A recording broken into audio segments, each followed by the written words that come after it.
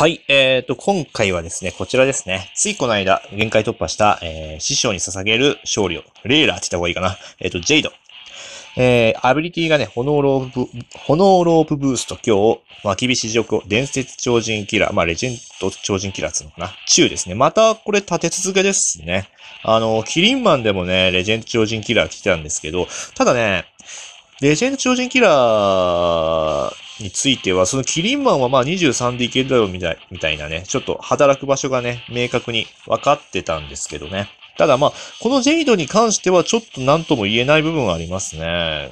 まあ、立て続けに来たということは、ひょっとしたら今後そのレジェンド超人の募集とか、イベントがあるのかもしれないですけどね。あのー、まあ、来るとしたらどうだ？筋肉マンとかあのあたりがまた募集で来るのかな？ちょっとわかんないですけどね。えー、まあ、あとはまあ、えっ、ー、と、ウォーズタワーの、どこだったか、十何回かで使えましたよね。あの、炎ロープと巻き菱のとこですよね。あの、木のロビンが活躍するとこだったと思うんですけど、で、必殺技がビーフケークハンマーです。これはまあ、要は、あの、通常攻撃した後に、一番最初にね、あの、当たったやつに対して、えー、技を繰り出すってやつですね。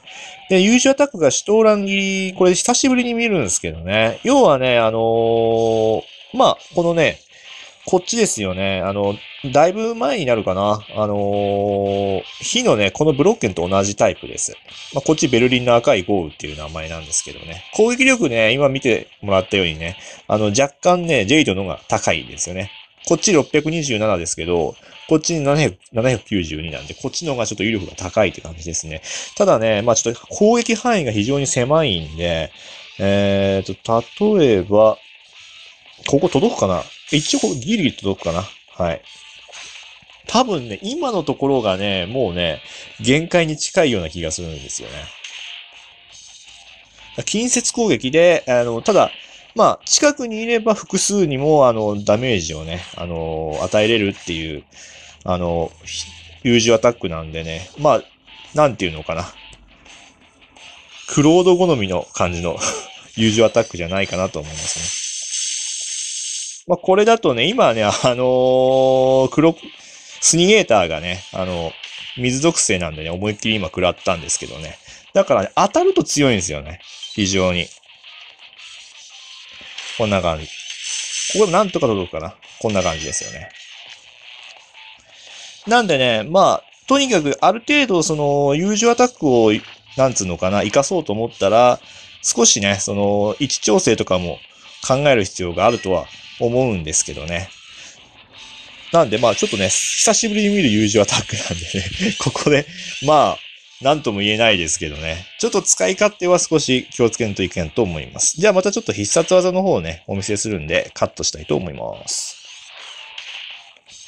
はい。えー、っと、じゃあね、必殺技使っていこうかなと思いますね。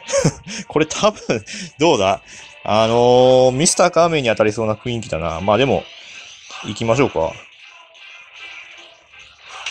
うーん、ミスターカーメンか。まあいいか。